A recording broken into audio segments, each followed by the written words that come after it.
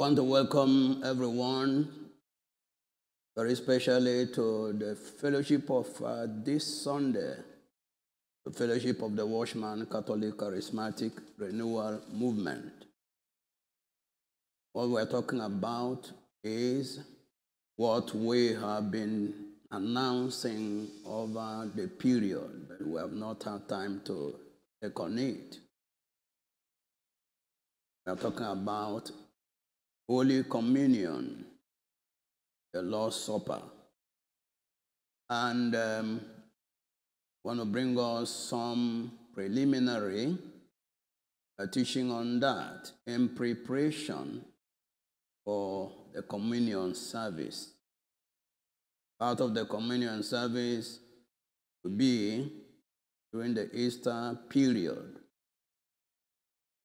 Then after that demonstration service, communion service with a, a selected people, then it will now go on to the various locations.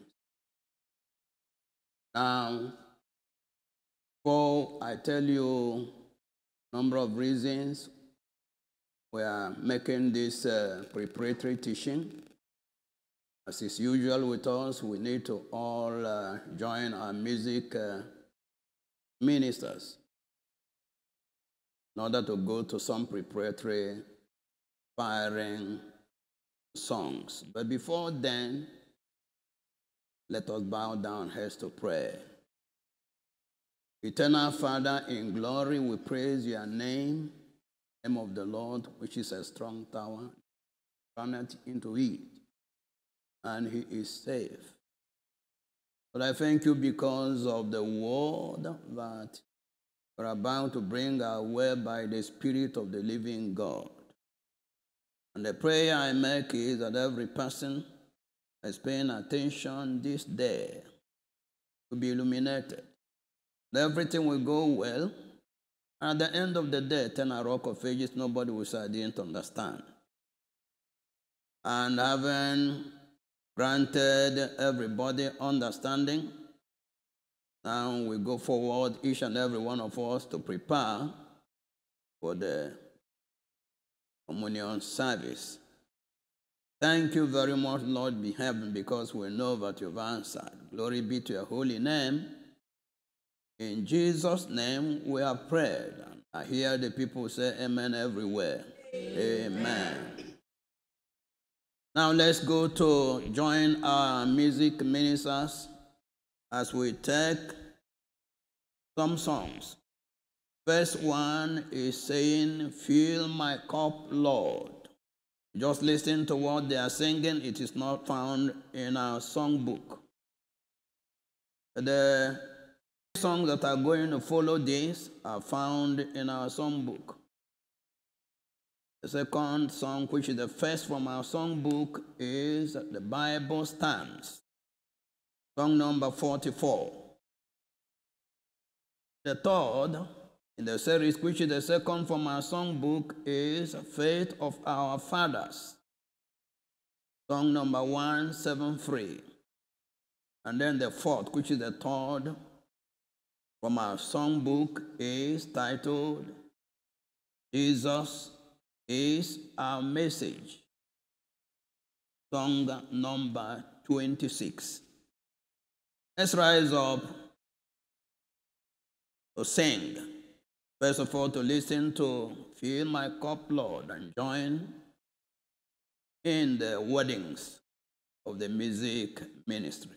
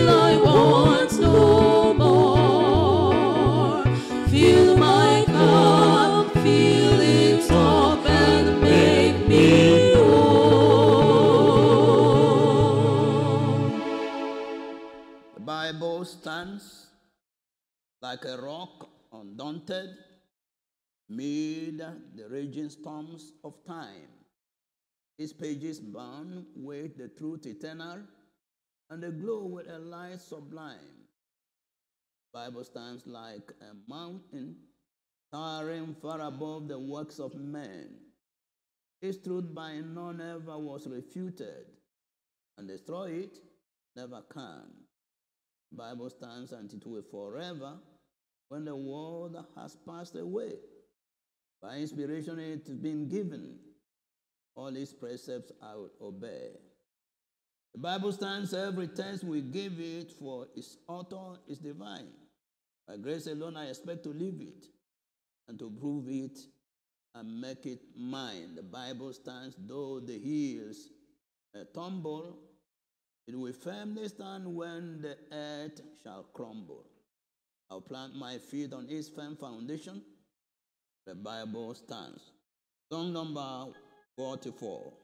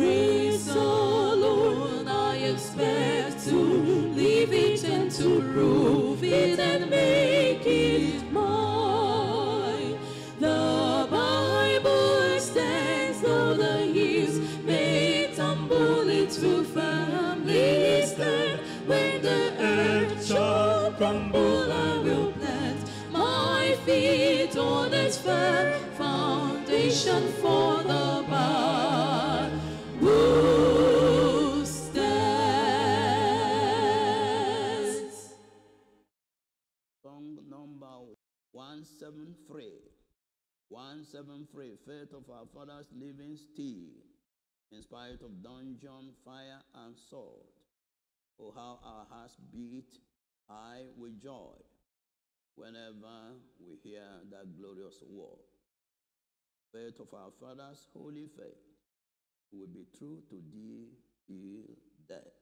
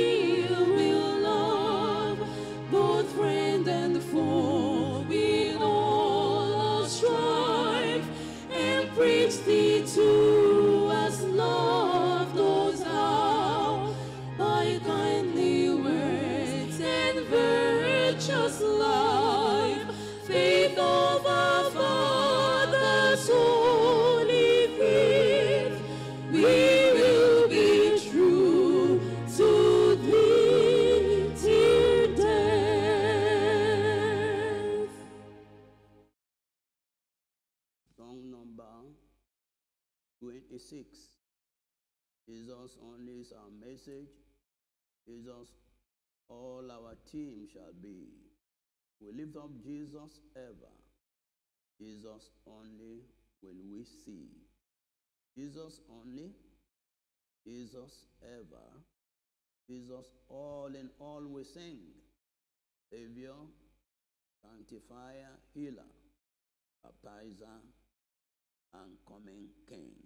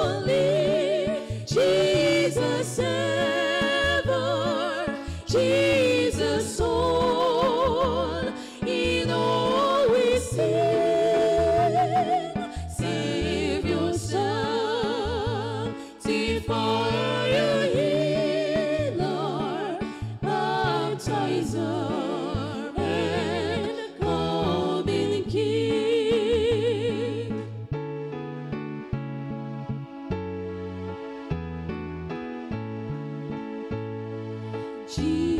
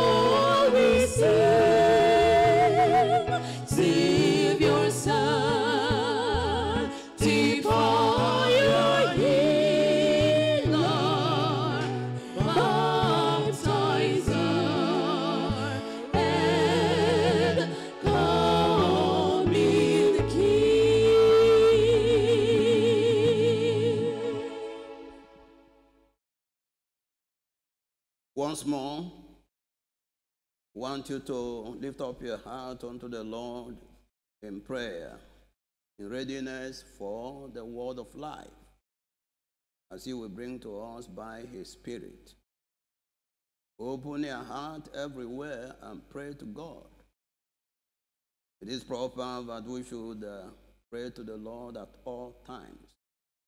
Lord Jesus Christ said, Men ought always to pray not to be discouraged, not to faint. We are bringing about the bringing about us the word of God on Holy Communion as we believe and as we crave to have or participate in over these years because of some circumstances beyond our control. This is a time but uh, it's uh, very crucial. And then it's necessary that we should understand what the Lord is saying to us at this point in time. Precious Lord, once more, thank you.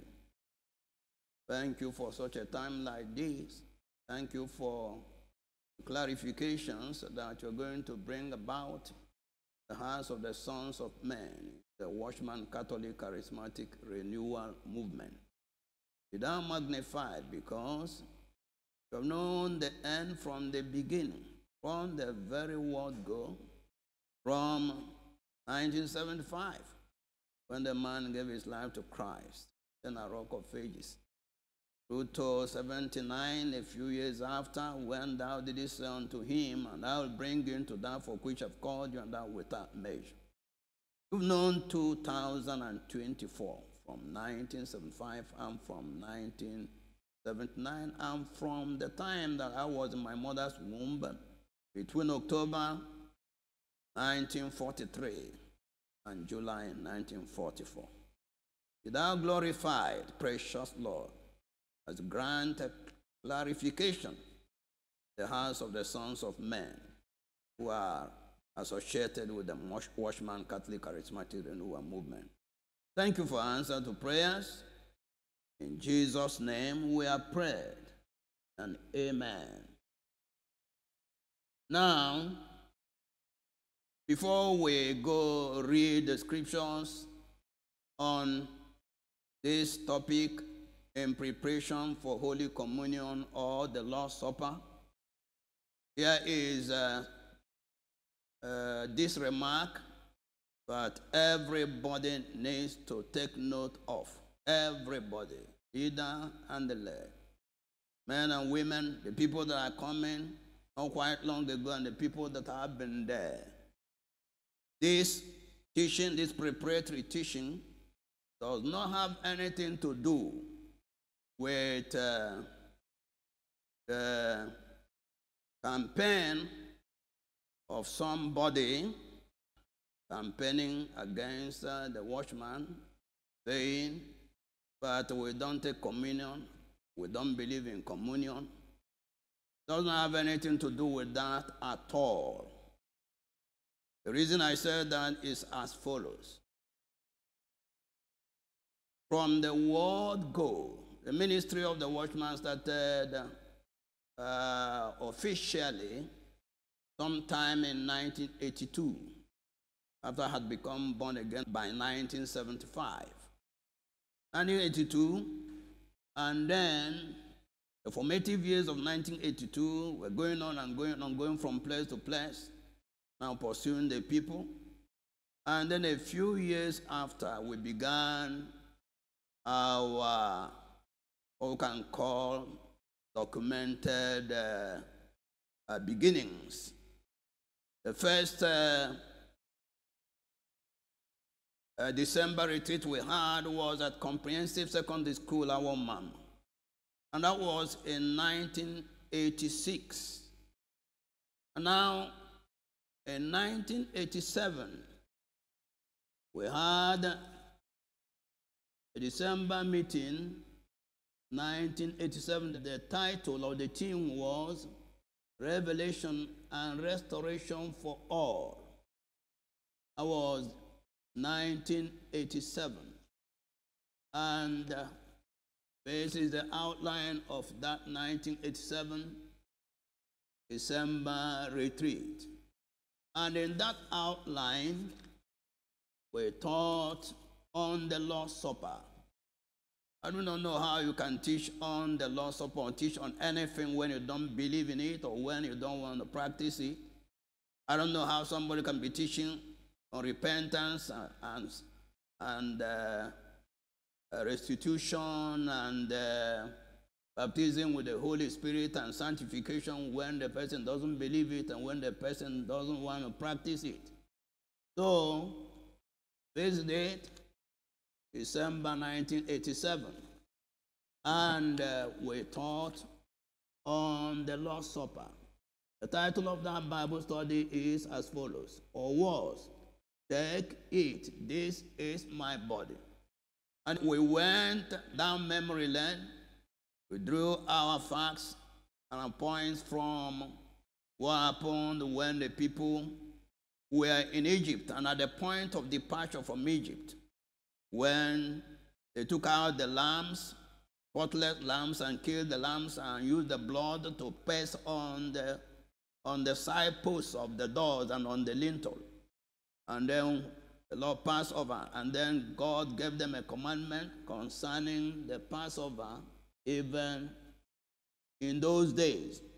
And then later on, it was that Passover that Jesus Christ was celebrating in the day that instituted the Holy Communion issue. So that was how it went at that time. Then in 1988, remember I said 1987, the first teaching on that.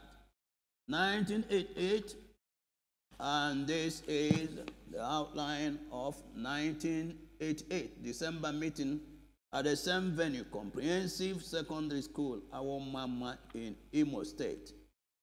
And then, part of the Bible study, an outline of the Bible study that we had is the Lord's Supper. And here is what was briefly taught that the Lord's Supper was instituted by Jesus Christ so that all believers, all members of the family of God might partake thereof regularly to show the Lord's death till he come. The emblems used are unleavened bread and the juice of the fruit of the vine. Anyone who eats and drinks unworthily brings damnation, punishment, and chastisement upon himself or herself. That was the outline of what was taught. Then, following this, in 1996, December meeting 1996, then that meeting had two sessions, first session and second session. And then it was more elaborate what was done. Because in this meeting, we had what we call our articles of faith. Articles of our faith. Articles of faith mean what you believe, what you are standing on. And so, it is very clear that uh, there are no questions as to whether the watchman believes uh, in Holy Communion or the, celebrating the Lord's Supper. Unfortunately, anyway, circumstances that we could not uh, handle went against us over these years. So, we are now set to celebrate or to partake of the Lord's Supper according to his demands. And I say once more, it is not as a result of somebody's uh, campaign or calumny. It's not the result of that at all. It is just the fact that the watchman believes what we want to partake of now. And, um, and the people that may have been uh, influenced are those people that I'm going to describe now. People that come around or that may have been influenced one way or another negatively and shrugged their shoulders and then did something uh, not too good. Are the people that I'm going to explain now. Turn with me to Acts of Apostles, chapter 17, from verse 1. Now, when they had passed through Amphipolis and Apollonia, they came to Thessalonica, where was the synagogue of the Jews. And Paul, as his manner was, went in unto them, and three Sabbath days reasoned with them out of the scriptures, opening and alleging that Christ must needs have suffered and risen again from the dead, and that this Jesus whom I preach unto you is Christ, the anointed one, the coming one, the Messiah.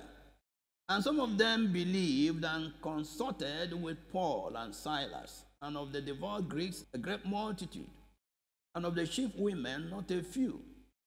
The Jews which believed not, moved with envy, took unto them some lewd, uh, these gangsters, fellows of the better sort of the marketplace, and gathered a company, even a crowd, and set all the city in an uproar and assaulted. That is, attacked the house of Jason, and sought to bring them out to the people.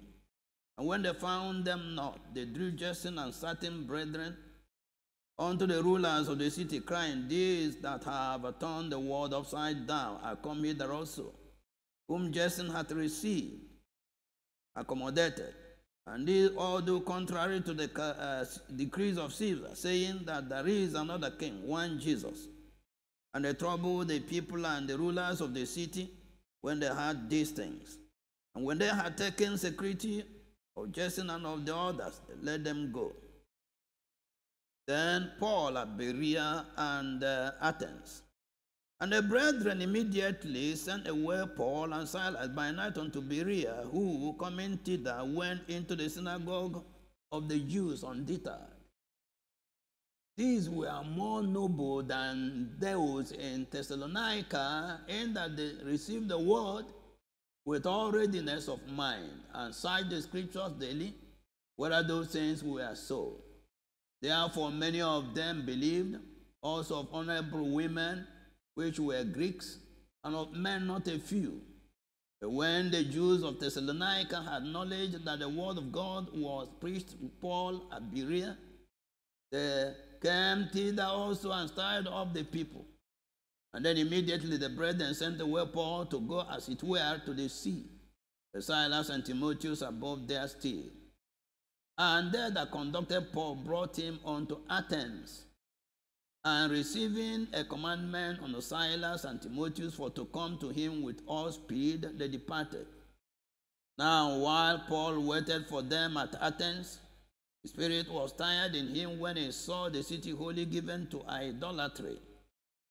Therefore disputed he in the synagogue with the Jews and with the devout persons and in the market daily with them met with him.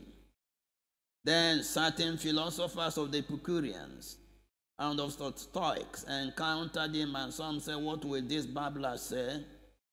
Others, some, he seemed to be a setter forth of strange gods, because he preached unto them Jesus and the resurrection.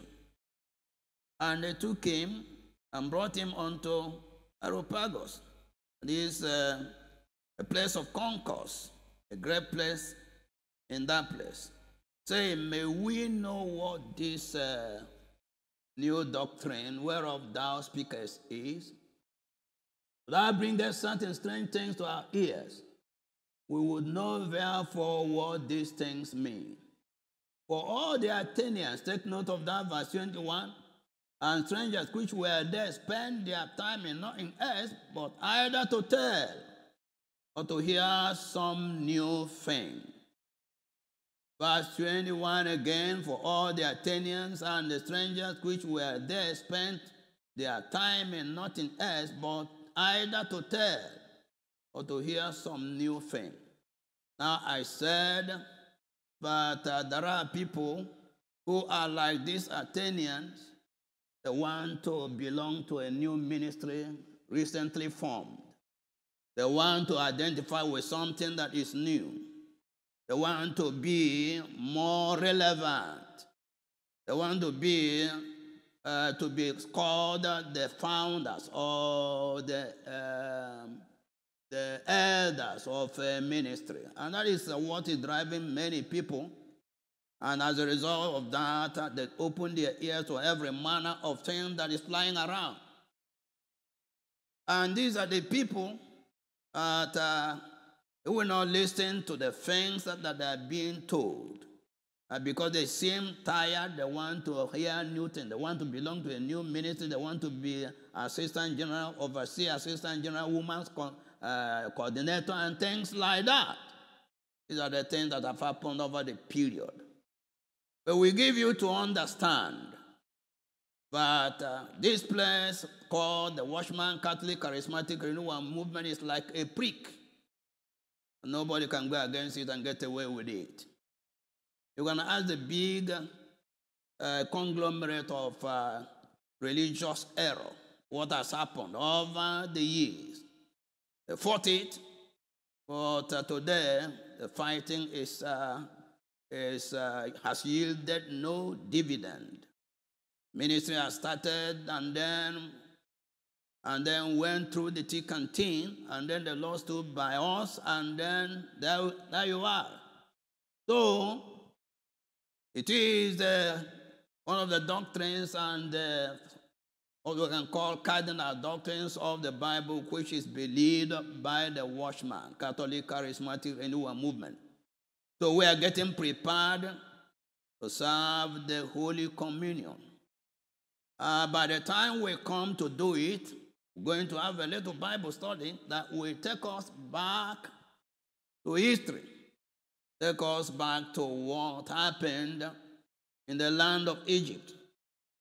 We'll look at some uh, uh,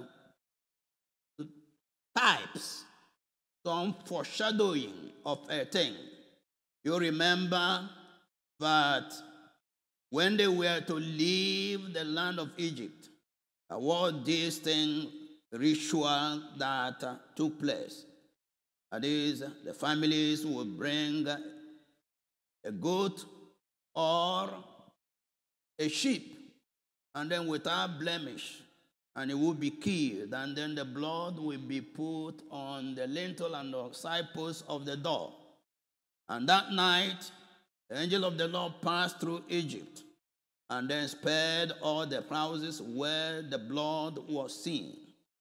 And they were told to roast that lamb and eat everything about it and eat in haste.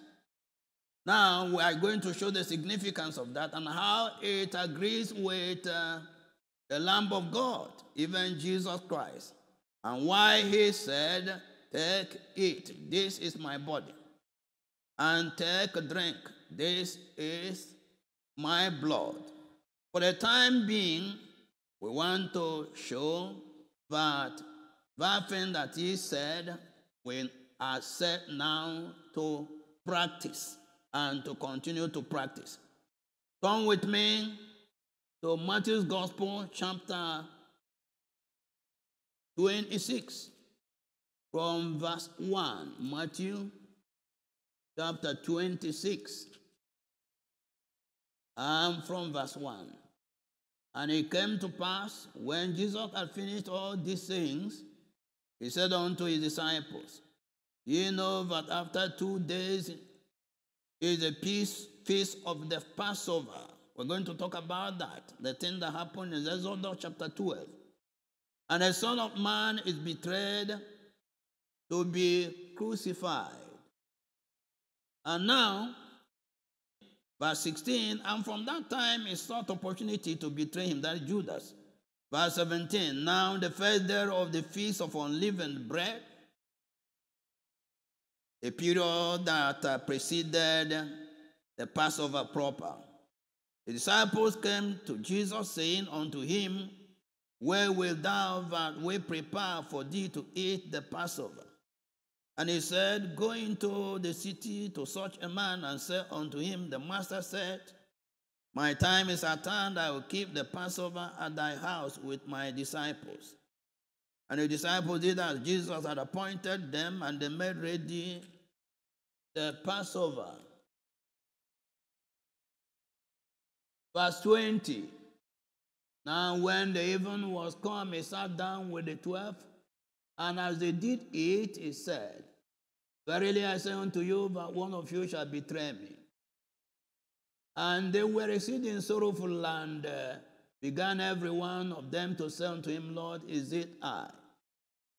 Now, verse 26.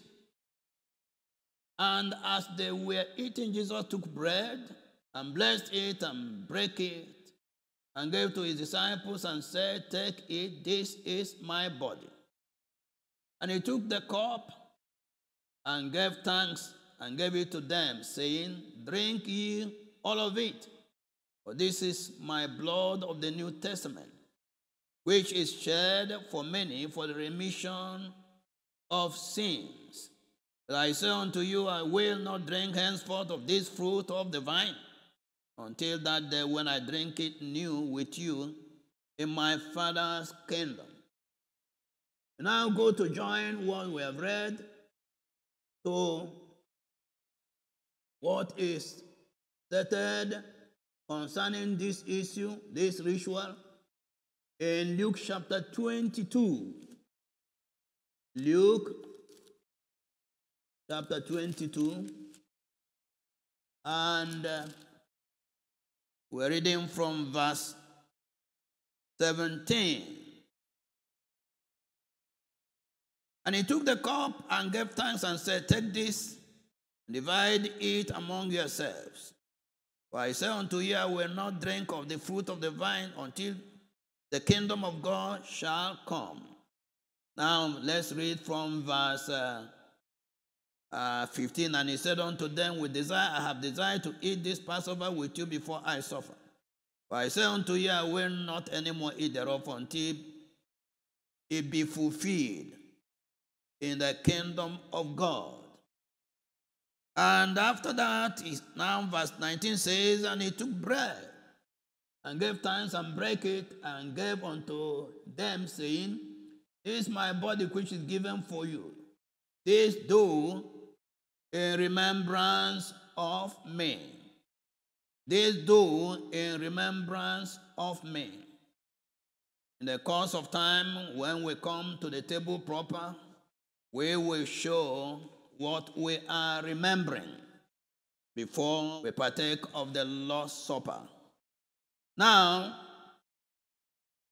when the Apostle Paul was ministering, there was an occasion but the people abused uh, what the ritual. And then it came hard upon them. And here we read the account. Account is in First Corinthians. First Corinthians chapter 11. First Corinthians chapter 11. Let's go to verse 17. Now, is this that?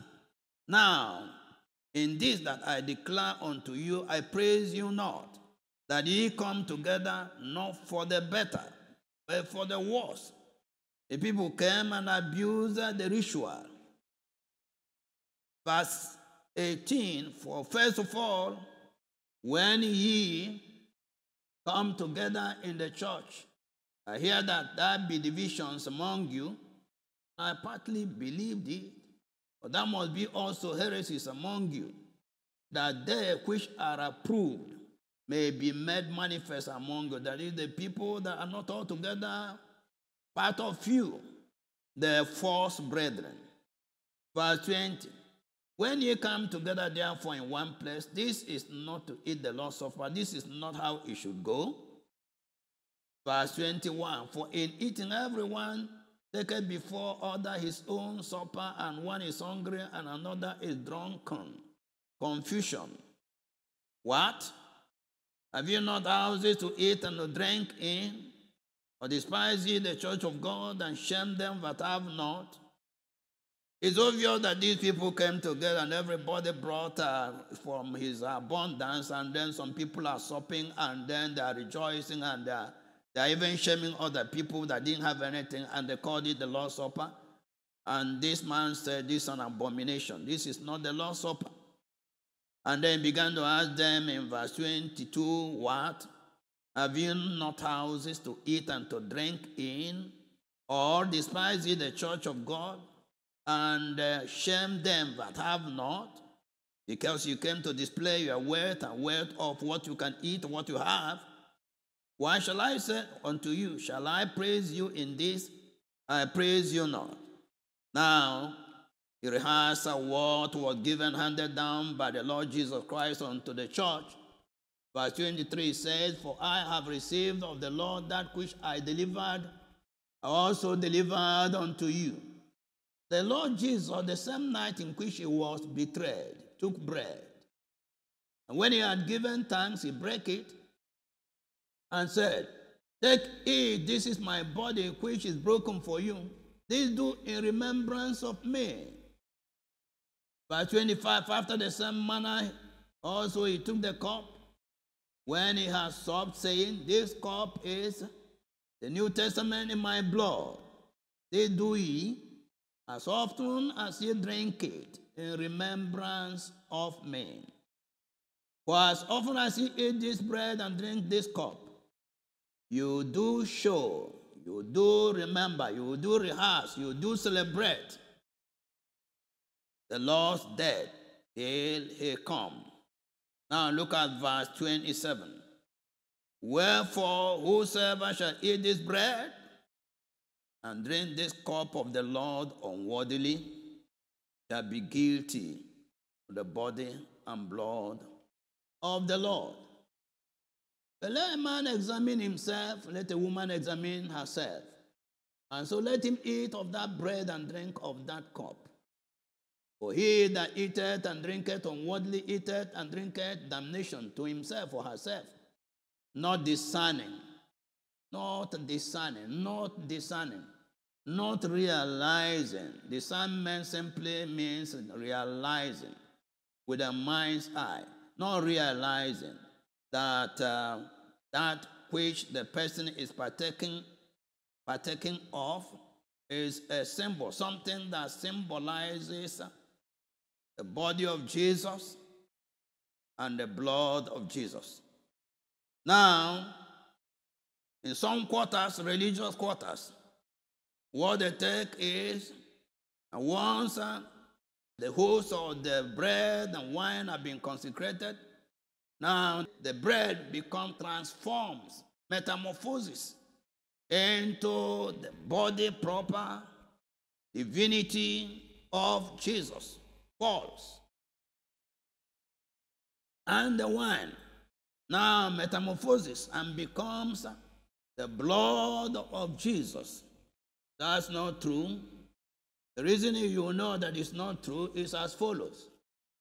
Let's go back to Matthew chapter 26, where this ritual was established. Matthew chapter 26, reading from verse 26.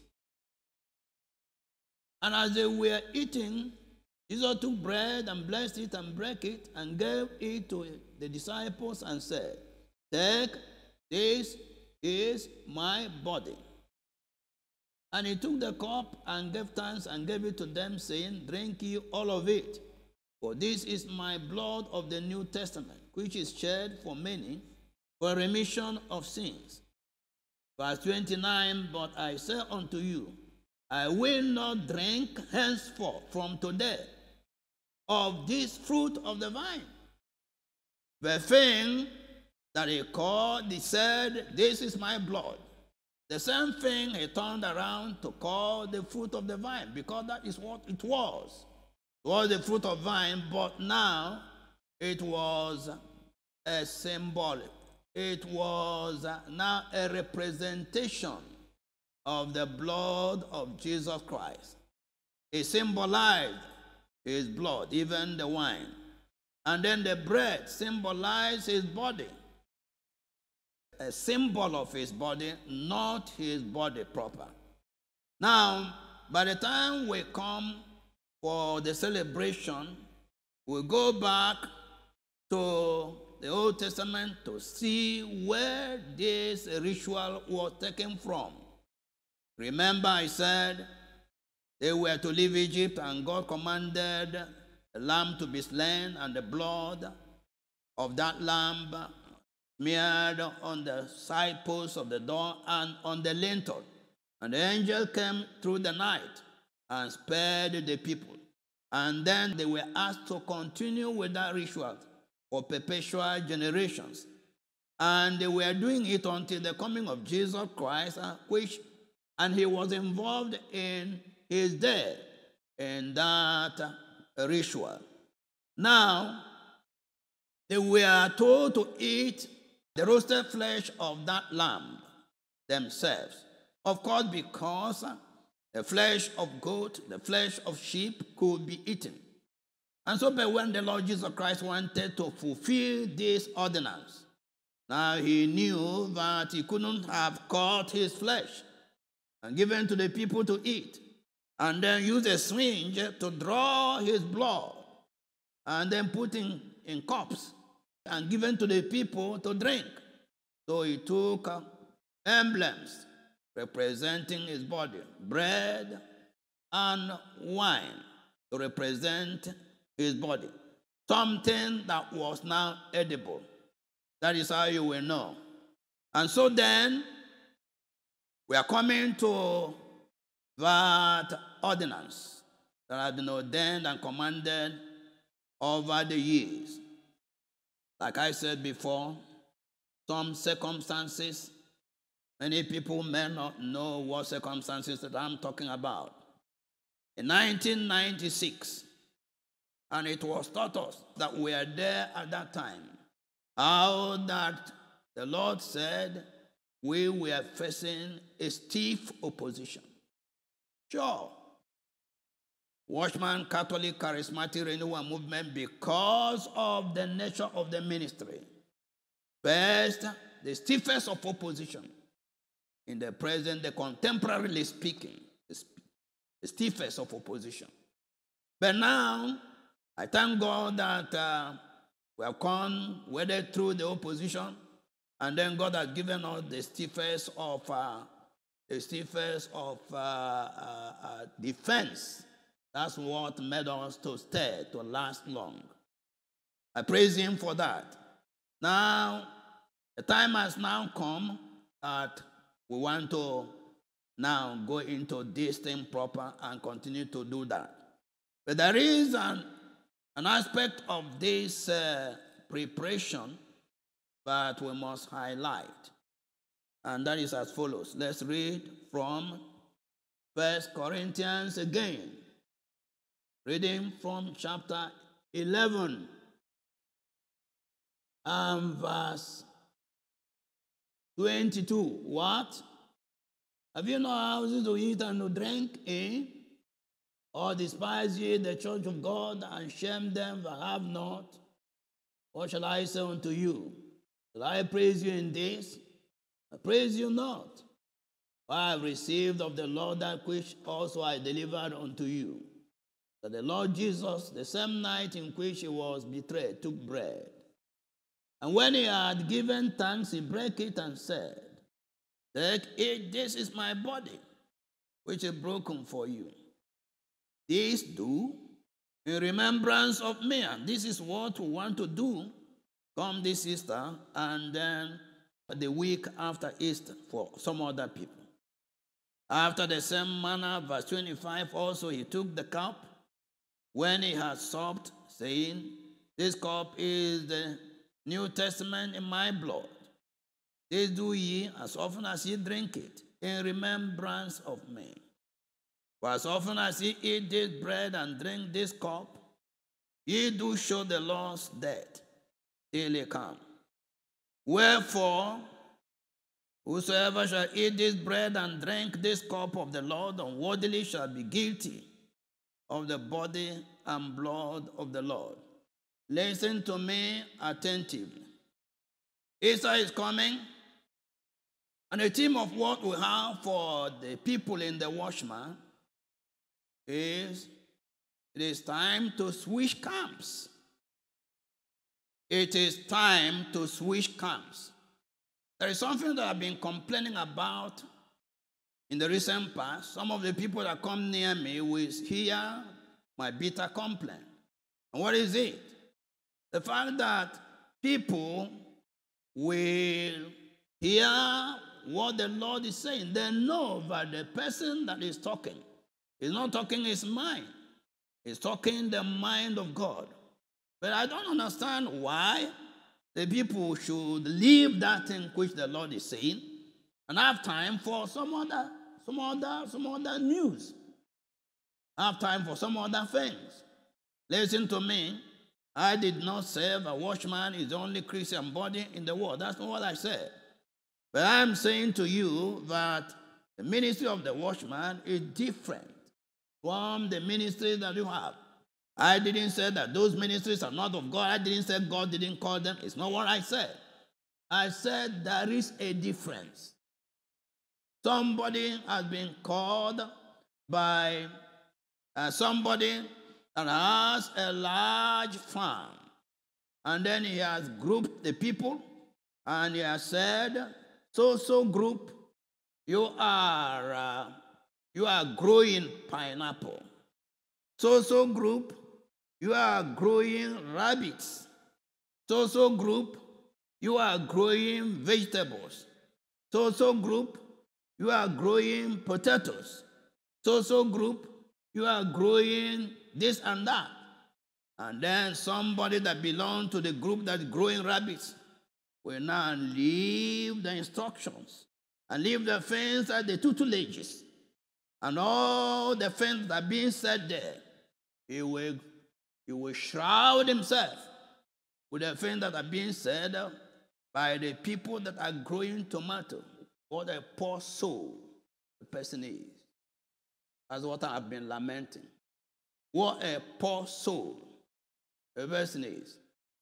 In the recent past, ask the diocesan pastors what I charged them with. And I've said it to a number of people.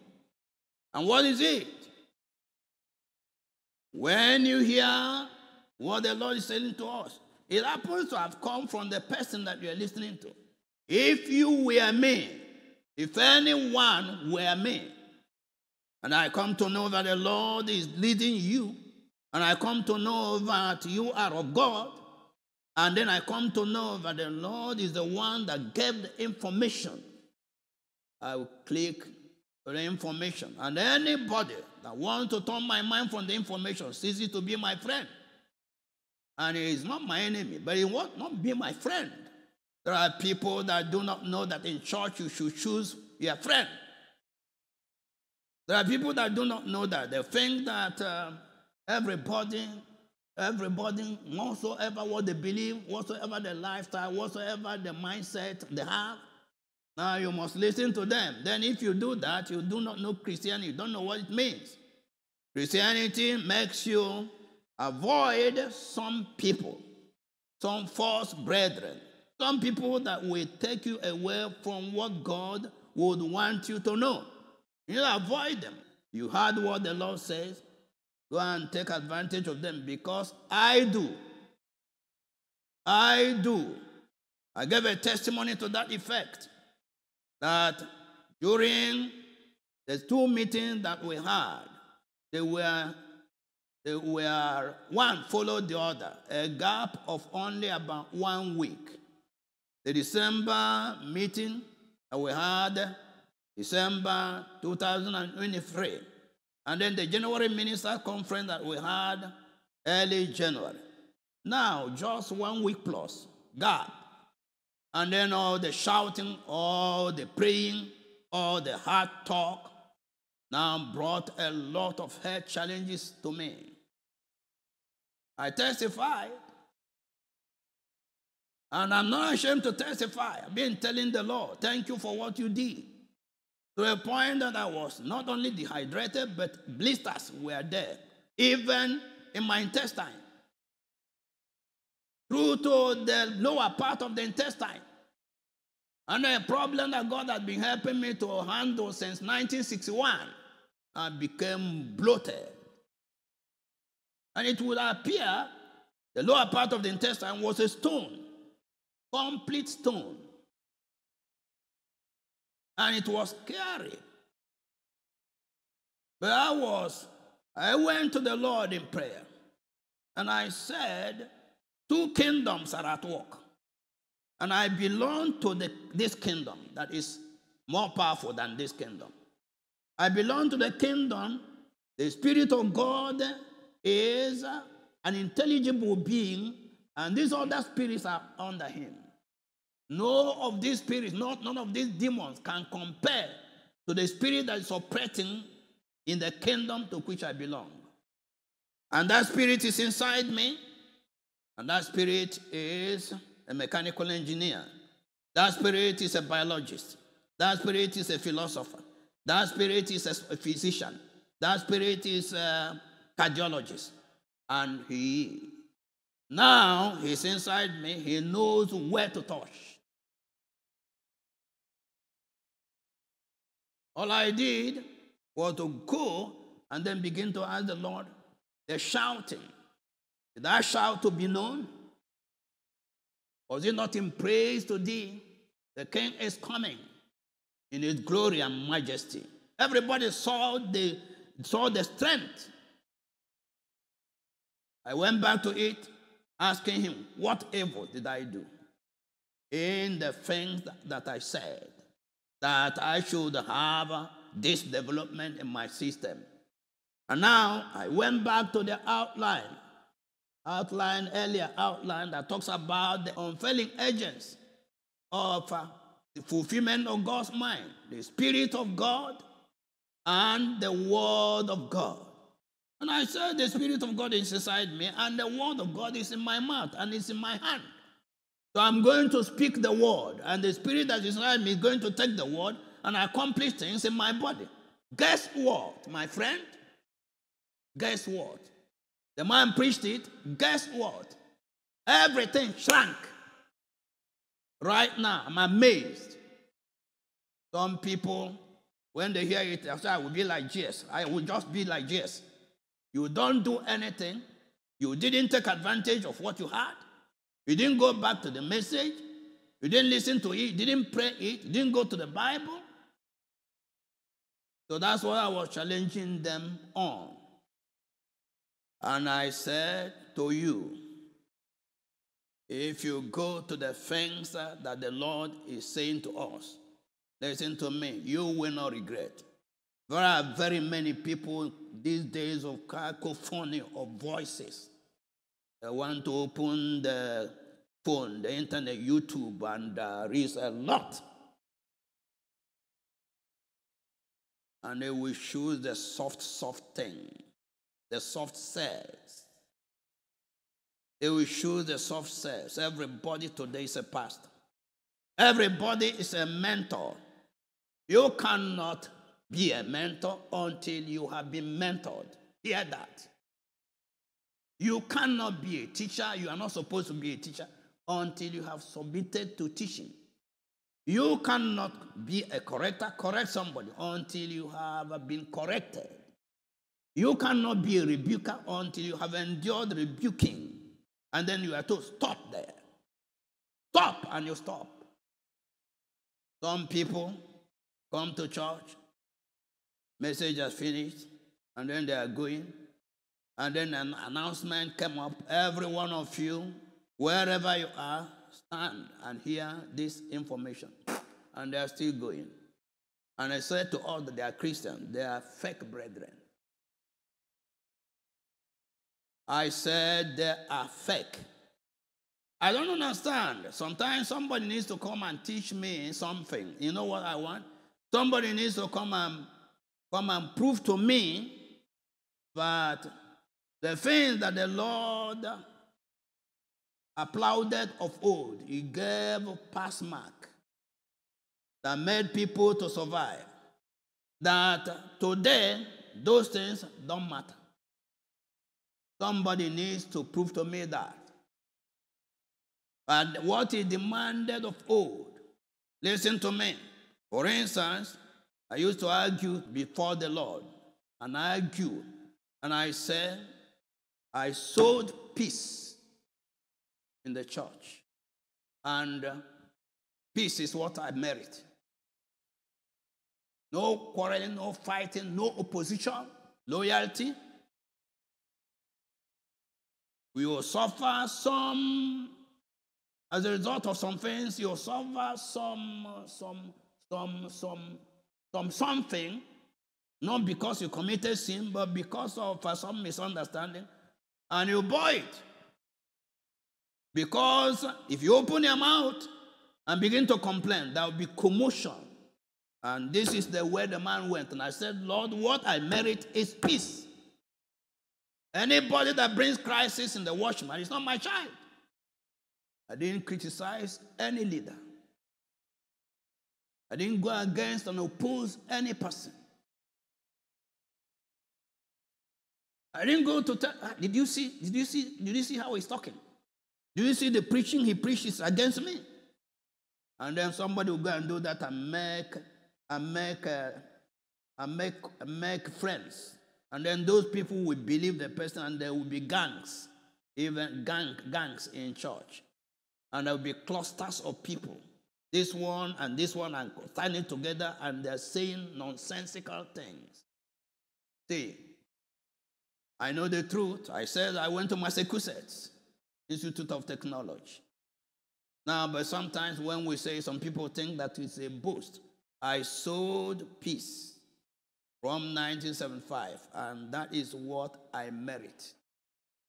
So then, what is the point? The point is that I too listen to me attentively, listen to the things that the Lord says, and go back to them. Now, we are preparing for communion. You need to ask yourself, am I in the camp of uh, trouble, troubleshooters, troublemakers? Am I in the camp of criticizers? Am I in the camp of fault finders? Am I in the camp of feuding people? Feuding. F E U D I N G. Feuding people. If you are in the camp of feuders, people that are feuding, you need to move and go to the camp of friendship. Because the church that Jesus Christ is coming for is a, a church of friendship, a church of friends. Listen to me attentively. A church of people that are saying, Come, Lord Jesus. A church of people that are saying, Come, Lord Jesus. And how could they be saying, Come, Lord Jesus? Because they are friends. Because they hold their hands together, they are friends. Not a church of people, enemy one to another. So it's time to shift camp. That is the message that is coming this Easter. That is the title. Time to move from feuding camps to friendship camps. Time to move from stubbornness. There are those that, that are in the camp of stubborn people. But they, they must do their minds. They are never bendable. They are unmalleable. You know what? There are different kinds of steel, iron. There is cast iron, and cast iron is not malleable because of what is made of the metal. That the thing is is a composite something. But there is something that is called mild steel. And then you see the rocks which we use in floors, building, they are made of mild steel. So you can bend into a U shape. You can bend it into an S shape. You can bend it into a T shape. They are mild steel. You bend it and it will not break. But cast iron, you don't do that. There are people that are in the church and they, they have their mind, they have their mind, they want to do their minds. Please, in this evil day, think about every day what you are depositing. Every day, what kind of Christianity are you playing? Because we're in the last day. And then there are very many people, it doesn't matter, they gang up and they are friends, and then they gather this one, gather this one, gather this one. People are talking and people are teaching. The internet and the, the platform, social platforms are filled with followers, uh, filled with people, and they all have followers. Good. They all have followers. Somebody know, that knows uh, John chapter 3, verse uh, 16. Once he knows that he's become, uh, becomes a minister, very many people, they are, they are, uh, they are pastors, they are um, this and that, they are apostles, senior apostles, senior evangelists, things like that. My friend, my friend, Bible talks about there that will be used to teach other people. He said those people will have been taught so that they are not novices. And what is uh, what happens? Uh, the possibility with novice is that he will be taken by pride. The devil will corner the person, and then he will manifest pride, and then will fall down flat. So then, have heard the word, the preparatory word that we're talking about. You want to get yourself prepared for the oncoming celebration of the of the Lord's Supper.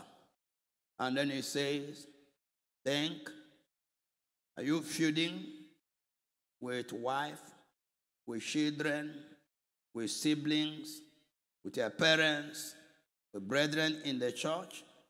Or are you in friendship one with another? These are the things that we need to begin to think about until Easter. When we do the first shot with some category of people, and then following that, we now go to do in the various places. The Lord is coming. And in these last days, what we see operating everywhere is religious spirits. Take note, religious spirits are not violent spirits. Religious spirits will talk religion. Religious spirits are spirits that monitor every person. Listen to me. And somebody is not following Christianity, it does not bother about following peace with all men and holiness, without which no man shall see the Lord. And then falling out with this person, falling out with this ministry, this and that. From here, he moved to this place. And there are people that are moved from church to church. They find fault with this one, and they move and go to this one and find fault. They move, they go to this one and find fault. Let me ask you, where is it that you will go to in this world and you will not find some fault? And then he will be moving like that. And the next moment, he is disgusted and goes to begin uh, ministry. And somebody will join the person. Listen to me, what has happened is that the person's mindset has qualified him to have the religious spirit. And the religious spirit sneaks in. And that's it. The person will not know. And then there are other people that, as a result of sin, they get, they get inspired. What we call anointing through sin. Anointing through sin. And they get inspired by those spirits, and then people will follow them. I pray that you should check. Some time ago, we said this is the time to choose which church to attend. This is the time to choose who your pastor should be. Who do you listen to? This is the time to choose what message do I listen to? This person that is talking. What is his background? What is his testimony? What is her testimony? What's the person's testimony? What's the person's history?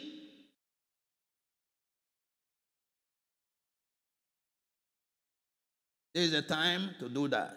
Meanwhile, in order not to stray, what I bring to you is we're coming with the arrangement that is a ritual, the uh, ritual, call it ritual, but not in the wrong sense of the ritual of the of the of the evil people or people that are into cult. I'm talking about ritual in the right sense of it. The communion we are preparing for, you need to shift camp.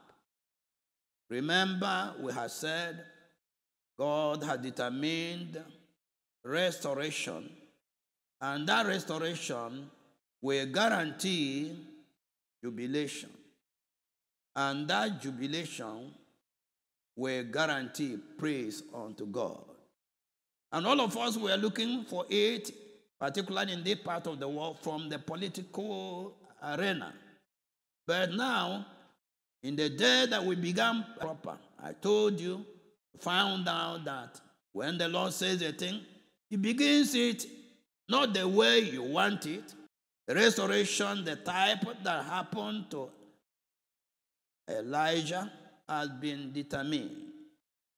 The restoration that happened to the people of old has been determined. And then God is the one that is doing the restoration. But before the restoration can be the lot of anybody, that person must say, Here I am in this camp. This camp is not good. This is the camp I switch to. Lord, come to my aid. Let me share at least one camp, deadly camp. What camp? The camp of people I never can see their errors. The camp of uh, Isaiah's. And of course, you know that it is natural for man not to see his face, of a woman not to see her face. Take note of that. Can you see your face as you're looking at me? You can't see your face. I see your face because I'm looking at you. If you must see your face, you go to take a reflective instrument that will reflect your face. That is how it is. Naturally, every person is defensive. But now, if you want to go to heaven, if you want to have uh, what the Lord did to, to Isaiah to be done, you must be saying, you must say to yourself, Oh Lord, I may be wrong. It could be that I am wrong. Lord, it could be that I'm wrong. And you are saying it with all your heart. It could be that I'm wrong. Show me my true self. And you mean what you are saying. I move away from the camp of those that uh, are incorrigible to the camp of those that are saying, correct me. There are those that come to church, and you know what? They come to church and they say, We have been born again, and that's all. They don't care about anything. All the, excuse me if I use this, uh, this uh, jargon, all the nyama nyama that is found in the natural person they are carrying. They are carrying the something headlong, day after day. The thing is manifesting. They have minds that are bent. If you say this, they will read meanings into it.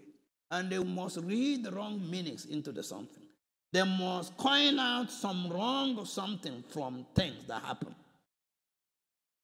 They must coin out some wrong meaning into it. That's it. They do not give any person any benefit of doubt.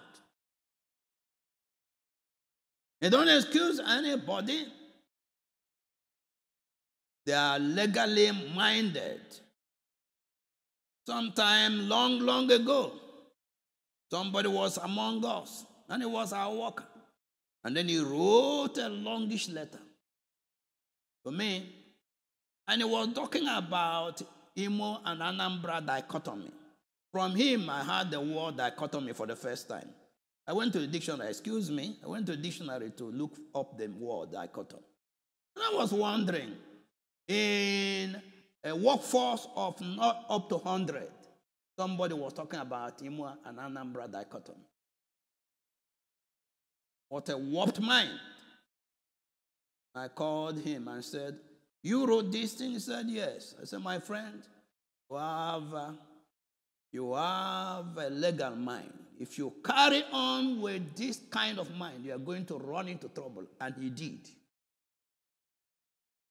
And he did. And he did. Want to question everything? Want to clash the people? Some other person came to me because he was reading law and then was saying the social problem that social person have. He was quoting the law, Nigerian law, that will solve it. I said, my friend, this is not, this is not law. This is Christianity.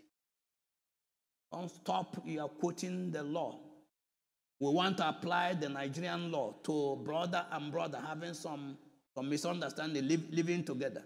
And he was quoting law for me. I said, my friend, take your law away. You carry a legal mind, you will not be a Christian.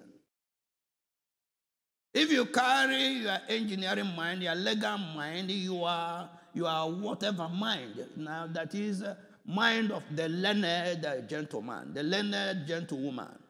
You carry the mind of uh, I'm a doctor. You carry the mind of I'm a professor. You're not on your way to heaven. There have been professors before you. And then the thing blows your, blows your, your, your head, and then you don't listen. Now you say you're going to heaven. Which heaven? I'm, I'm, I'm talking, which heaven? Where are you going to? Now, Lord Jesus Christ said in that day, Now, you see me, I am your Lord and Master. I came from heaven. I am the Word of God personified. The Word of God personified, sitting side by side with God. See, this is God. This is His Word personified, originally. And sitting side by side. This is God, this is the Word of God personified. This is the Holy Spirit. This person is uh, tangible. This person is tangible. This person, the Spirit of God, is not tangible. And now, at a point, now God said to this person, Thou art from this hour my son. And then he reduced him from being second person in the blessed Trinity into being his son. And then later on, that word was uh, metamorphosed into child and entered the womb. This was Jesus. Then somebody think about this. And then the creator became a human, a creature, became a human being. And then it was going on like that. And at a point in the that he wanted to teach humility, to teach, you know, this matter of uh, removing, removing your ego, then he stooped down and removed his outer coat and put on a towel and carried a basin of water. My friend, my friend, and then went to wash the disciples' feet one by one, stooping down and using the water, the, the towel wherewith he was gathered, and cleaning their feet. And then there you are, came to Peter, the, the vociferous man, the bold man, the zealous man. And Peter said, Lord, it can never be that you, who is the Messiah, come from heaven. You should stoop down and wash my feet. Peter was right and wrong. Right and wrong. Right, yes. Our master, should he stoop down this low, wash my feet? Wrong, because he didn't understand what this uh, Lord was passing and then he said, If you don't allow it, you have no part in me. Think about that. All the people that have ego, think about it. All the people that are incorrigible, think about it. All the people that are feuding and quarreling and fighting in church, think about it. All the people that are complaining, all the people that are discouraging other people, think about it. All the people that are speaking words that are deadly, think about it. Listen to me. So many people, I was telling some people, say, if you don't understand the ways of the man of God, shut up your mouth. Shut up your mouth. lest you put yourself into trouble.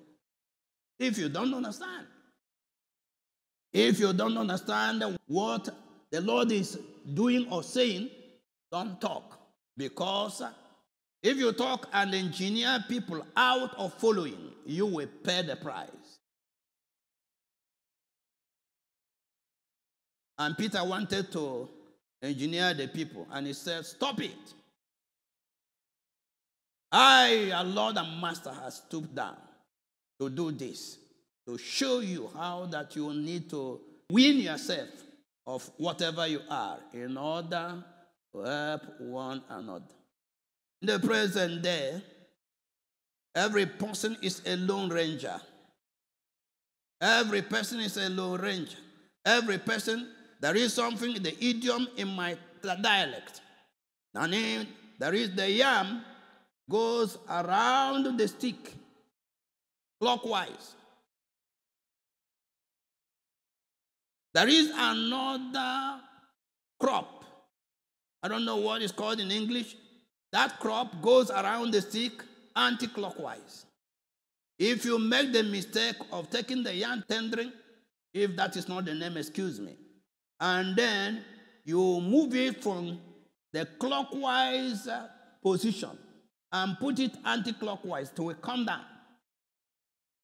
In the church today, these people are going clockwise, the other people are going anti clockwise. Nobody is supporting anybody. Say, let's pray together. When we come, previously we come and, and face all the problems. The problems were communal problems. But today, the problems are individual problems. And the other people look away. Christianity, I don't agree. And we want to take communion, think about it. And we want to take communion, think about it. And we must take communion. So we bring you to this word. Let every person examine himself and switch camp during this Easter as we talk about the camps. The camps you should switch from. The camps of uh, camps of uh, of people that are born in church, and then they are not members of the church. They're physically members of the church. They come when they like. They are not born again, but they are born by pastors, by workers. What an unfortunate circumstance. What an unfortunate circumstance. And they get with their stiff neck and are going into sin and living according to this world. Let me ask you, let me ask those people that are in this world. Can't you see people falling and dying? Have you ever stopped to ask yourself that death is coming? Have you ever stopped to ask yourself if I should be lost in eternity, what would I say? If I play pranks and get lost in eternity, what will I say? Will I say I didn't hear truth? The question I'm asking some other young people, all the fancy, fanciful things that you are following, and all the women that you are following, they call them celebrities. And you are rejoicing and you are adoring them and you are fascinated about it, you are to be pitied. You are to be pitied. You are fascinated about vanity, about nonsense. I want you to visit the mortuary so that you will see how the mortuary, the morgue attendants kick those bodies when they pile them up in the, in the hall and then they want to dress one in order to put into the container or whatever. Now they use the leg to kick this one out from the other one. What is this life about? As somebody do not follow the Lord, and the days are rounding up. I pray you, I plead with you, as we prepare to take communion, whatsoever that needs to be done, do it. I say, do it.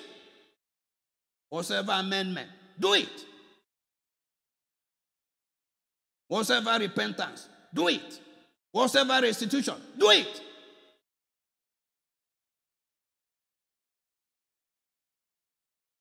Whatsoever confession, make it.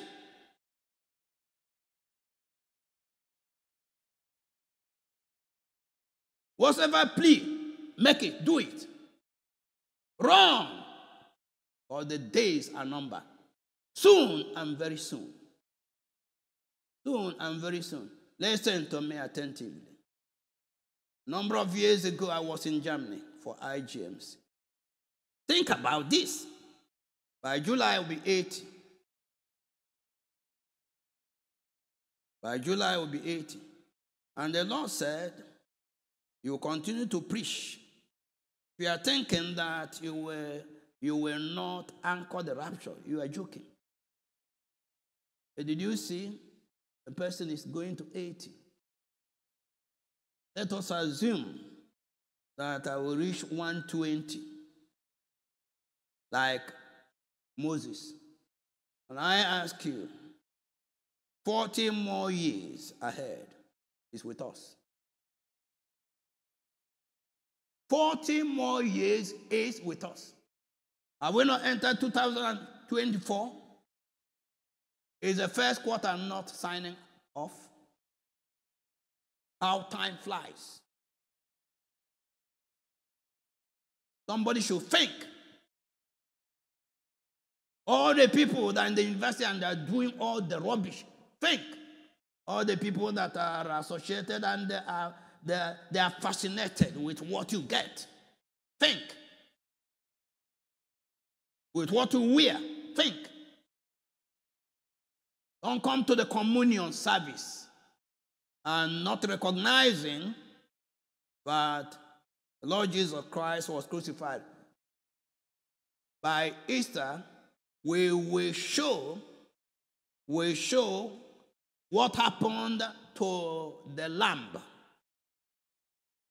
That lamb was symbolizing the Lamb of God. What happened to that lamb? How that lamb was killed and was roasted. And Jesus Christ was on the cross of Calvary and roasted with pain. And somebody made an argument. The death of the cross is the most excruciating death. He was nailed to that cross by 12 midday. And piecemeal, piecemeal, minute by minute, he was tortured through 3 p.m. That didn't come immediately. And somebody is kidding with it. Some human being is joking with it. Some youth is joking with it and saying, I don't care. You will care soon. You will care soon, but it will be late. So I pray at this communion service, I, I, I beckon upon you to come on board. But think through.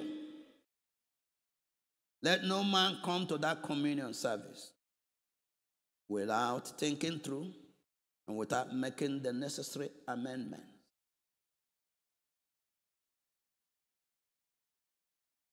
Let no man means, let no woman, let no pastor, let no overseer, let no GS, let no GS children, let no GS wife, let no the same pastor's children, everybody needs watchman.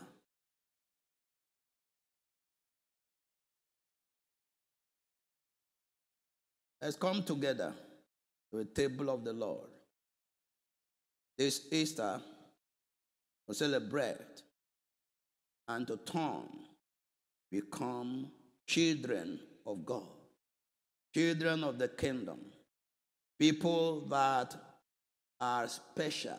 They are not the same with the other people. Listen to me, man past man, and I know what I'm talking about. I am not the same with the people of my age, my age mates in the village. We are not the same.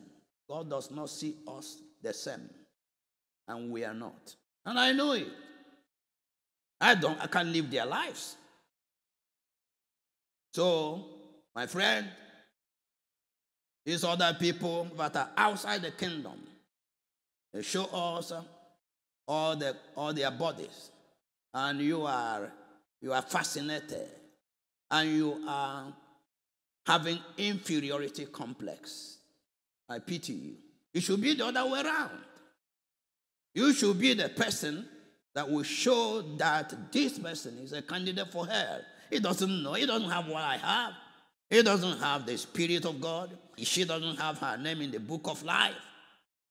What I am enjoying, he cannot enjoy. So why do I emulate the person that I am above? That's it. You should be superior and not the other way around. But because of not wanting to follow the law, now these people are now overshadowing and then coming with all that something. What is dress? The question I'm asking the people that are living in this world what is dress? What is wedding? What is marriage? And we must not rest. Now there are people they want to they want to go to pre-wedding photo shoot. Useless, useless human beings that remain in church and decide to spoil what people labor to build. Pray shoot. You go to Dubai.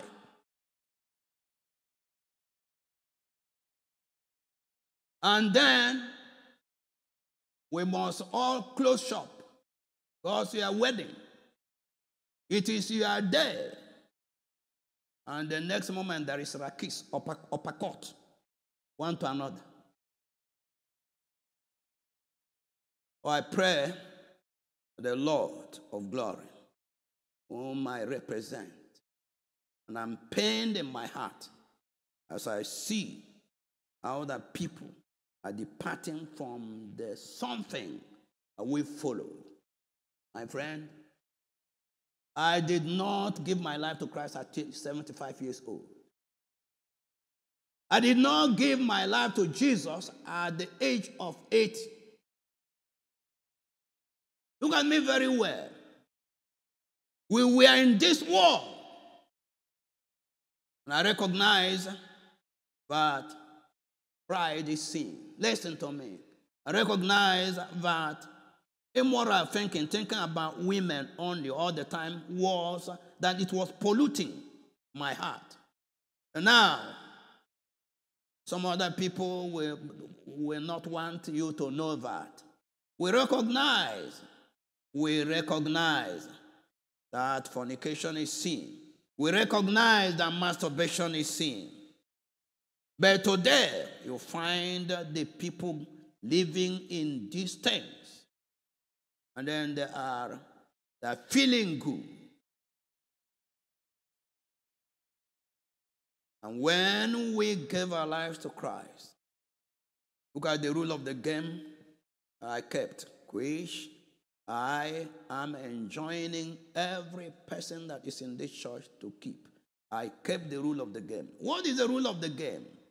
When you become a Christian, the next thing that you need to do is to find all the nasty tendencies, to discover all the nasty tendencies, all the natural tendencies, all the characteristics or the talkativeness, all the offense, offenses that fill your heart, a little thing you're offended,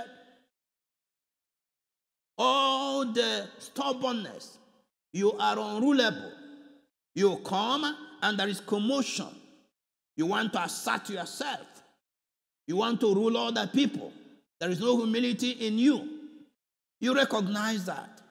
When you come to a meeting, you are looking for some personal uh, that is uh, your personal interest supersedes every other person's interest.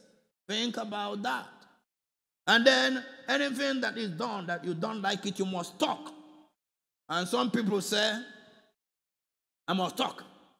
I know they fear anybody. I fear nobody. I see. I fear nobody. That's what some people say. I know they fear people. My friend must fear somebody. You must fear somebody because we are not equal. Let me sign off with the illustration I gave to a woman in the recent past. What illustration? When a person came for something recently in this center, I said, Lady, how tall are you? What's your height? Listen to me attentively. I, round off with this. He said, When I measured, I found that I was six feet. I said, Stand up. First the column. First the column in front of you, face it. And do as if you want to embrace it. And the woman went and faced the column. I said, Stretch that your hand. I gave the woman a biro. Take this biro, face the column, and stretch your hand and mark where your hand reached. She went and did that and marked. I said, Come out. I left my seat.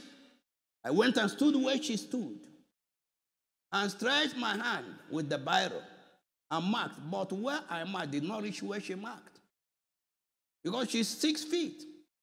But I am five feet two. I don't know even whether I'm up to that now because as you're aging, you are shrinking. Five feet two and a half or so.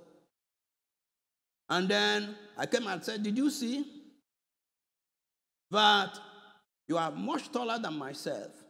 And if there is anything that is hanging there, I will depend upon you.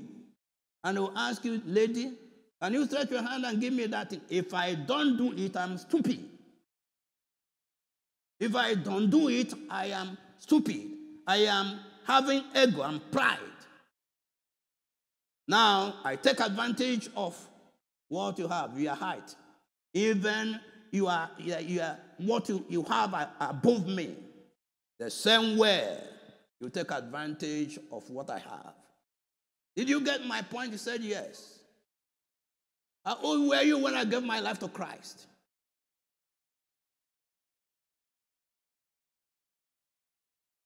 How old were you? Have you even been born? 50 years of foolishness, as it were, following the law bumper to bumper. Today we will not breed because people are marrying.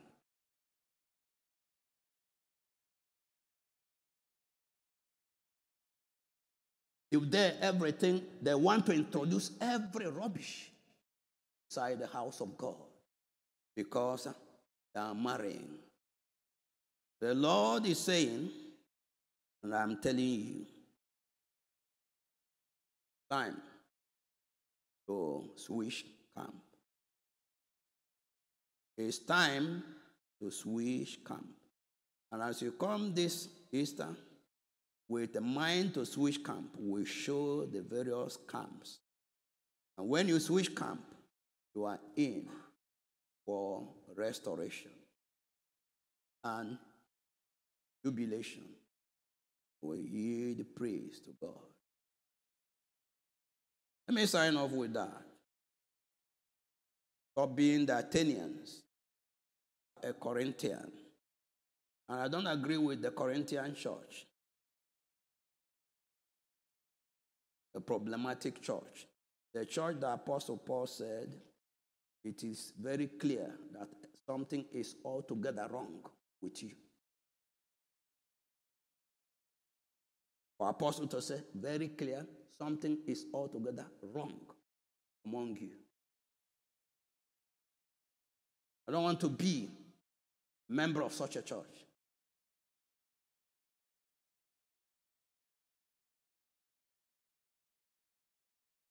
It's time for prayer. Before we pray, there is a song that you need to join. The music ministry, it is in song number 131. Guide me, O thou great Jehovah, pilgrim through this barren land. Listen to me, men and brethren. We are all pilgrims in this barren land. And if you do not, if you want to reach where we are going, you must allow that God will guide you by His Spirit and by His Word.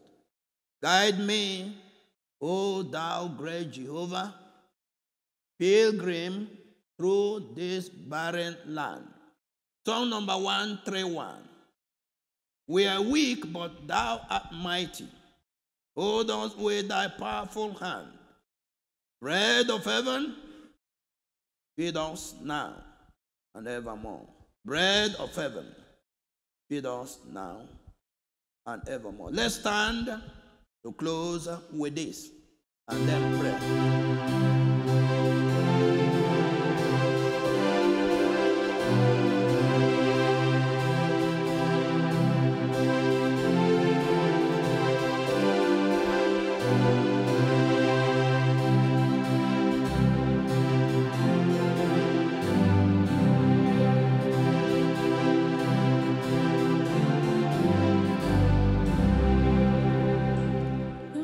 Guide me, O Jehovah, Pilgrim through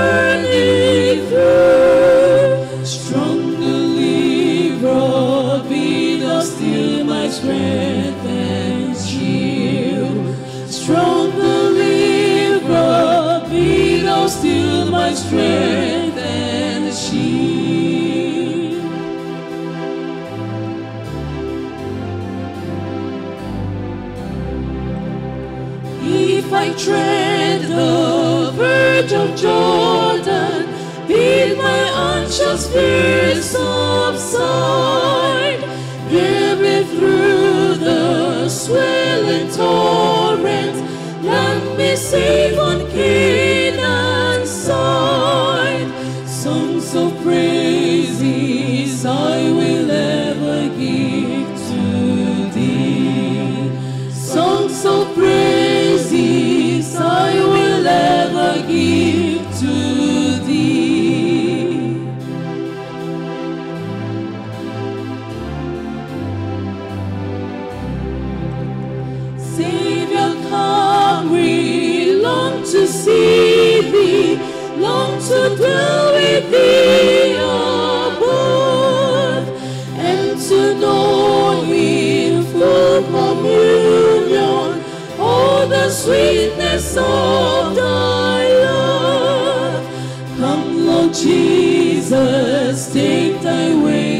people home.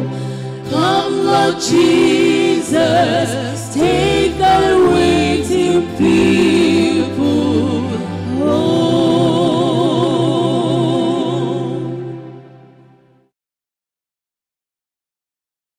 Come, Lord Jesus, take thy waiting people home.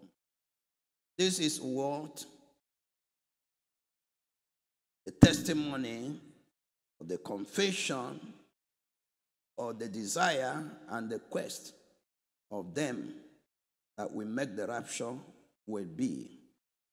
And at such a time, you find that they are ready. They are aware that there is no hindrance. If uh, you are prepared for an examination very fully, and you have covered everything, and you have understood everything that you have been taught, you will not be afraid as the examination is approaching. Now, you want to take the examination so that you can be promoted from one year to the other. You'll be saying, Let it come. Let it come. And if you are in a football team, and then you people know award your onions, and you have trained and trained and trained, now and the match is coming, you will, with other people, have the readiness of mind. And we are saying, let the time come so we can showcase our artistry, so that we can showcase our skills, so that we can showcase that this team is stronger than the other team. You'll be saying, let that day come. That is how it will be with them that have uh, switched camps. And they are in the camp of death, are waiting for the Lord. Open your mouth and say, Lord, in this Easter, even this time around that we are wanting to get into the communion, precious Father, I pray that you help me. I want to switch camps. I want to make myself ready. I may be qualified to, to go in the rapture. The rapture must take place. The Lord Jesus Christ has said it. The prophets have said it. Has been decoded of old. It has been announced of old. It has been uh, uh, typified of old. Elijah's case is a clear case. Restoration and eventually led to the transformation, translation. I pray that you pray. Open your mouth and talk to the Lord now.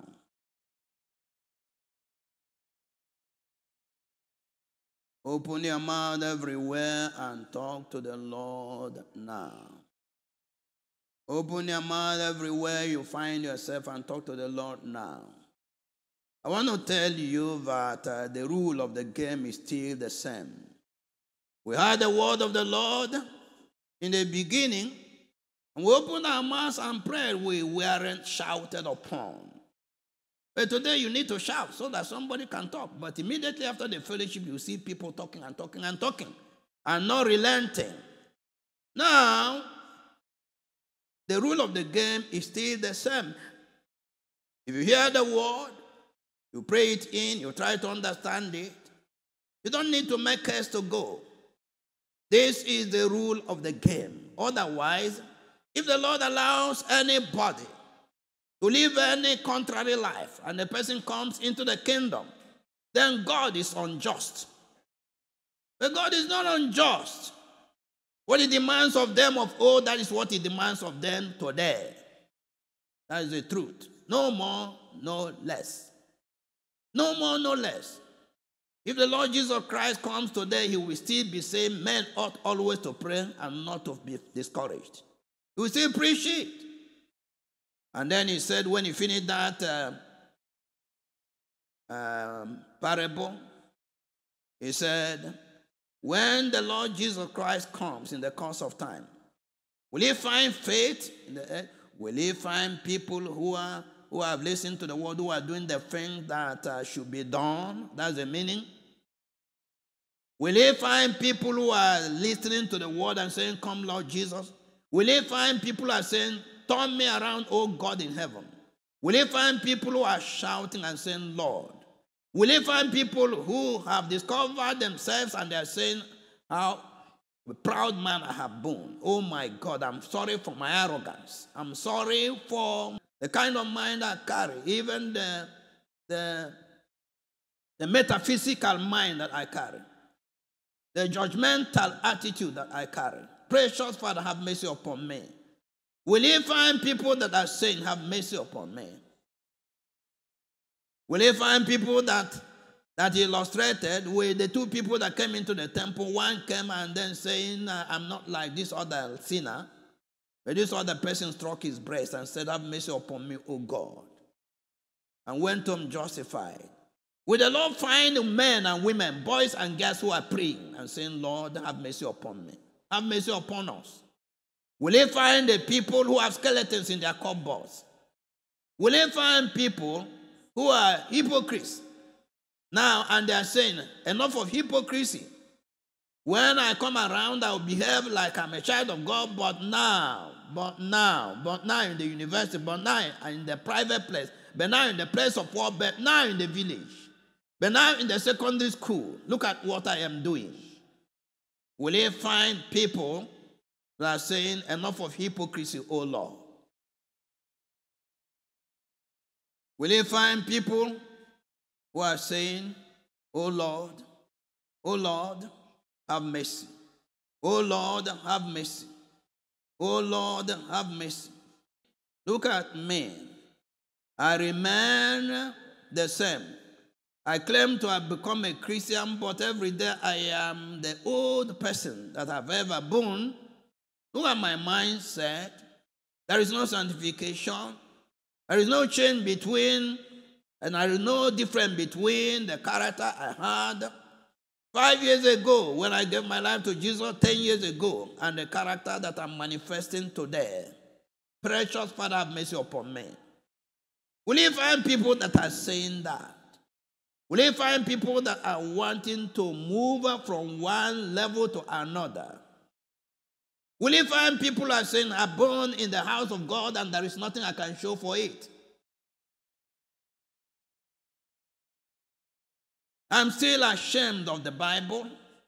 I'm still ashamed of identifying with Jesus in the public and say that I'm a Christian.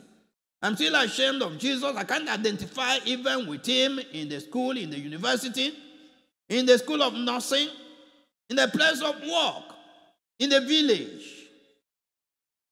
Will you find people that are saying, Lord, I want to partake of this uh, mystery. I want to partake of this communion. Communion in the blood, in the body and blood of Jesus Christ. Remembering his death on the cross of Calvary and remembering what he has done to us. You do this in memory of me. Will you find people who, who step back in church after the message? And then other people are going and they step back by the window and they are praying. One hour they have not finished. 30 minutes they have not finished because they are taking, they are dressing their lives. Will you find people that are saying, my relationship from now on must change?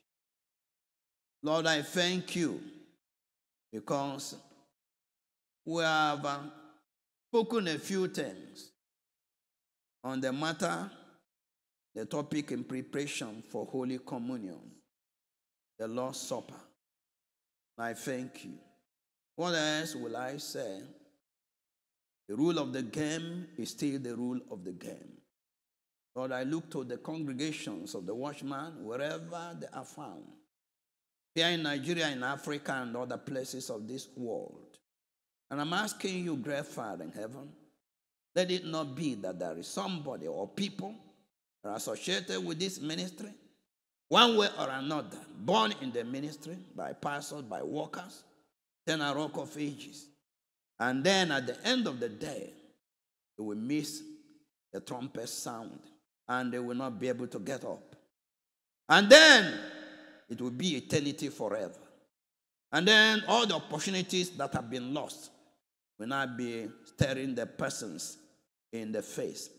And regret will be for all eternity. Father, I must not be such people. This is my desire. This is my prayer. This is my anguish day after day. I'm saying, why should such people be born? Why should they be born? Lord in heaven, I pray you, Spirit of God, Bring conviction into the hearts of people. For the Lord has spoken and said, When the Spirit comes, he shall convict men of sin and of righteousness, the need for righteousness, and of judgment to come. Lord, and the Spirit has come. I pray, Lord, in glory, that across board, among the youth born by pastors and workers, eternal rock of ages, wherever they are. Let the Spirit convict them of sin, of righteousness, the need for righteousness, and of judgment to come, of eternity. And then men turn around and follow what should be followed. Lord, you know that the present day is full of contradictions. The present day is full of uh, voices. My Father, my God, soft cells. Everybody is a champion. Many people have followership and they have nothing. Even celebrities have followership. Somebody was wearing scanty dress, said, I have no shame. And then he began to mention some shameless woman that is following, who is a domiciled overseas. And he said, I have no shame. That's my life. My father, my God, Judas said, That was me. That was my life. Jesus. All the things that you are saying, this is Judas Iscariot. I love money. At the end of the day, the money became nothing. Precious Father, I pray, let nobody be Judas. From among the people that listen unto this man, thank you very much. Because I should ask myself, why was I born? Why did you make me a pastor? Did I ask you that I wanted to be a pastor? Lord in glory, I hate to see people go from the house of God to hellfire. I don't want to see that. I don't want to be associated with such a thing. I don't want to see that. Bless the Redeemer. I pray, dear Lord of our salvation, that in this ministry, as a people listen to the things that are coming forth, deluge of God's word, eternal Father in glory, from there to the point to point. Lord, I pray that the Spirit of God, the Spirit of conviction, will overcome, overtake every person, the watchman, that that may be totality of restoration. And then the restoration will yield jubilation, and jubilation will yield praise. Have I not testified of the thing that you have done in my body? And uh, it's fantastic what you can do. Everything has chiseled away, everything has melted, everything has shrunk. Lord, I pray that the multitudes of people will join me, that they may benefit of the powers that be, even the power of the living God and the Spirit of God. Thank you very much for answer to prayers. I say, Lord, Lord, I say, I commend all of them. Wherever they are found, all the people that are hearing my voice, even at this point, I commend them unto the Lord. And I say, Lord, take over. Do not give any chance to anybody. Precious Father, those that should be quickened and pursued, pursue them. In the name of Jesus Christ. Those that should be pursued, that, that given sliding tackle, tackle them down. In the name of Jesus. Don't spare anybody. Tackle them down. Thank you, my Father, because uh, you have the power. The resources are with God. We're in the last days. Tackle people down. Tackle the pastor down.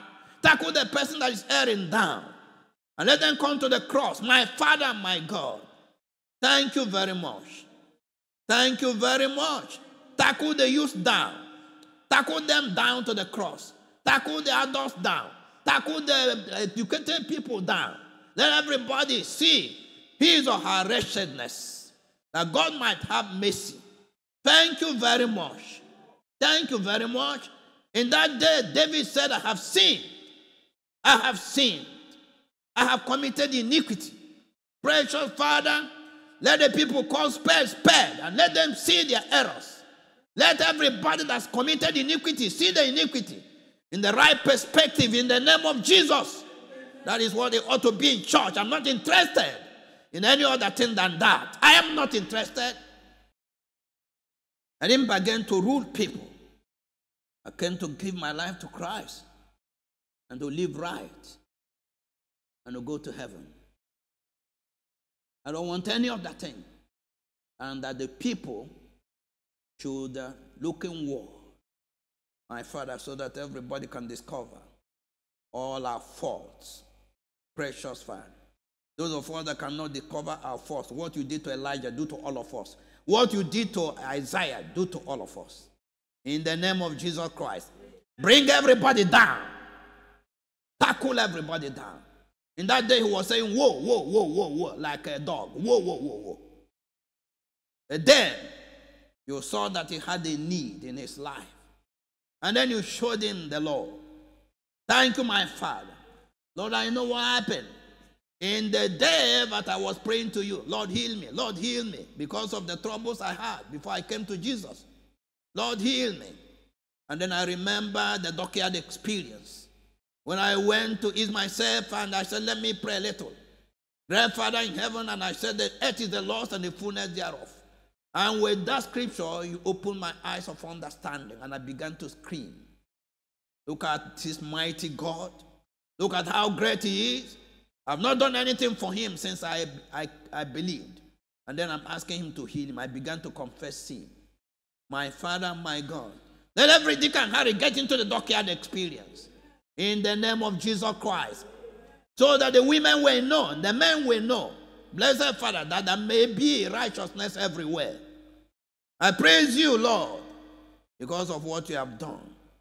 Thank you for answer to prayers. In Jesus' name, we have prayed. And I hear the people chorusing and saying, Amen. They say amen because they agree with the things that the man of God has said. Remember, I said, when God speaks to us, go take advantage of the things that God has said. That's the rule of the game.